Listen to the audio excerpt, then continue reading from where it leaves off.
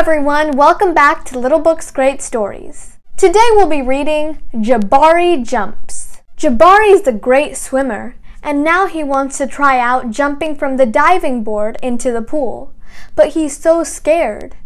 That's when his father tells him something.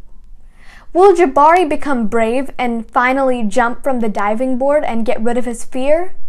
Let's find out as we read Jabari Jumps. But before we begin reading, please go ahead and hit that red subscribe button and click the bell at the very top so that you get a notification for every new Read Aloud I read on this channel. And then go ahead and click that like button because why not? Jabari Jumps by Gaia Cornwall I'm jumping off the diving board today, Jabari told his dad. Really? said his dad. The diving board was high and maybe a little scary, but Jabari had finished his swimming lessons and passed his swim test, and now he was ready to jump. I'm a great jumper, said Jabari, so I'm not scared at all.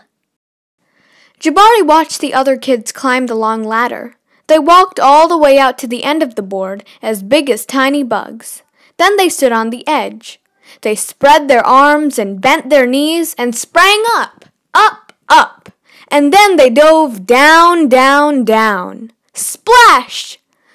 Looks easy, Jabari said. But when his dad squeezed his hand, Jabari squeezed back. Jabari stood at the bottom of the ladder. He looked up. Uh, you can go before me if you want, he told the kid behind him. I need to think about what kind of special jump I'm going to do. Jabari thought and thought.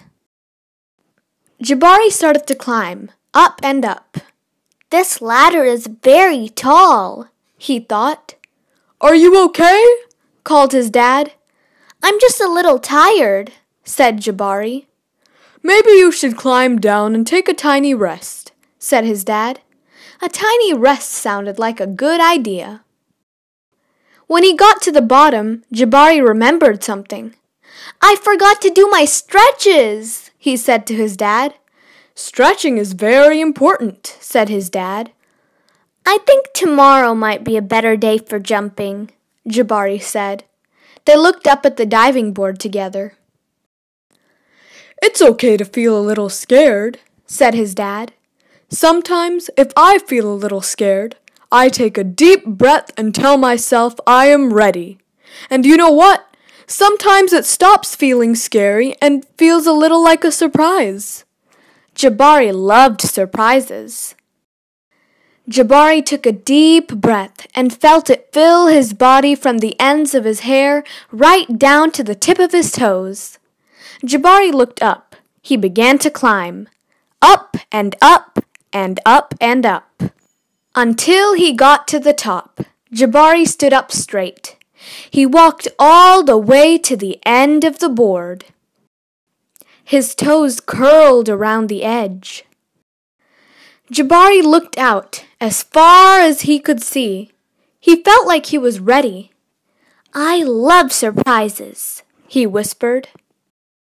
He took a deep breath and spread his arms and bent his knees.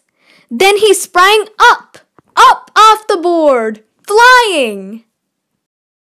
Jabari hit the water with a splash. Down, down, down he went, and then back up. Whoosh! Jabari, you did it, said his dad. I did it, said Jabari. I'm a great jumper. And you know what? What? said his dad. Surprise double backflip is next. Thank you for listening to today's Read Aloud. I hope you enjoyed it.